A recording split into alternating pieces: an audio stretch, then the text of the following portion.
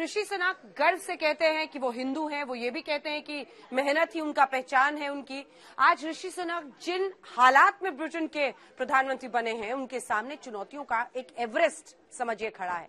सुनाक डंके की चोट पर कह रहे हैं कि वो ब्रिटेन के लिए रात और दिन एक कर देंगे। आइए देखते हैं ये स्पेशल रिपोर्ट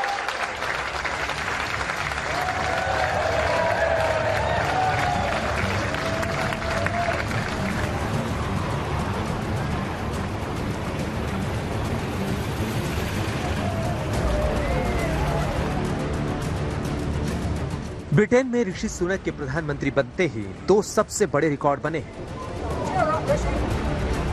रिकॉर्ड नंबर एक, ऋषि सुनक ब्रिटेन में 210 सालों बाद सबसे कम उम्र के पीएम बने रिकॉर्ड नंबर दो है, लिज ट्रस सिर्फ़ 45 दिन तक पीएम रहे। किसी भी ब्रिटिश पीएम का ये सबसे कम कार्यकाल है। लिज ट्रस ने कहा था कि वो जिन वादों के साथ आई, वो उन्हें पूरा नहीं कर पाई। I recognise, though, given the situation, I cannot deliver the mandate on which I was elected by the Conservative Party. I have therefore spoken to His Majesty the King to notify him that I am resigning as leader of the Conservative Party. Liz Truss ने 45 दिन में अपनी कुर्सी छोड़ दी और ऋषि सुनक उनकी जगह नए पीएम बन गए अब यहां से सुनक के लिए चुनौतियां शुरू होती हैं हम आपको ये भी बता दें कि 5 सितंबर को लिस्ट्रस ने पार्टी लीडर की रेस में सुनक को हरा दिया था। करीब 50 दिन बाद अब सुनक कंजर्वेटिव पार्टी के संसदीय दल के नेता चुने गए। और प्रधानमंत्री चुने जाने के बाद किंग्स चार्ल्स और सुनक के बीच करीब 31 मिनट की बातचीत हुई।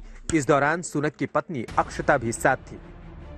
हम आपको बता दें कि पूर्व प्रधानमंत्री लिस्ट्रस से क्वीन एलिजाबेथ ने महज छह मिनट की मुलाकात की थी।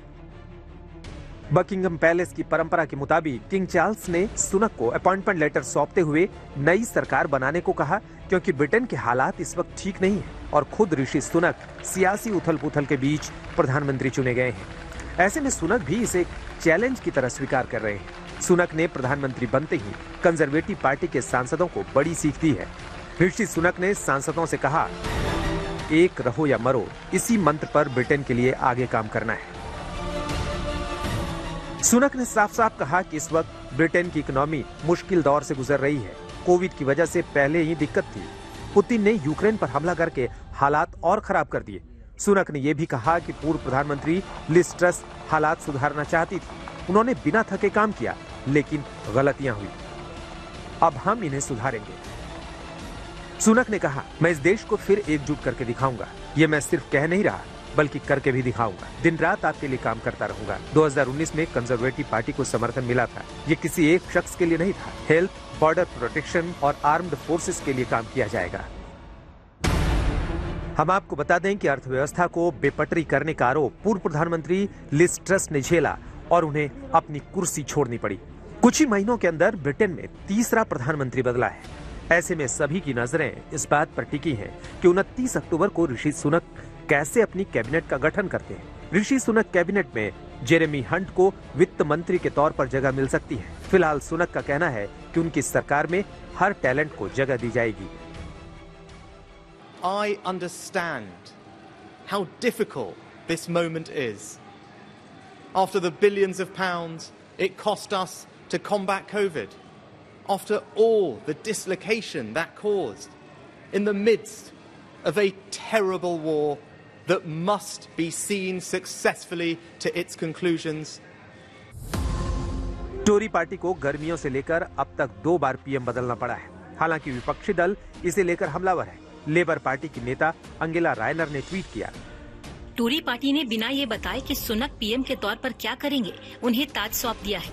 उनके पास कोई जनादेश नहीं है। समस्याओं से निपटने के लिए कोई आइडिया और जवाब नहीं है। अब ऋषि सुनक आगे क्या करने वाले हैं?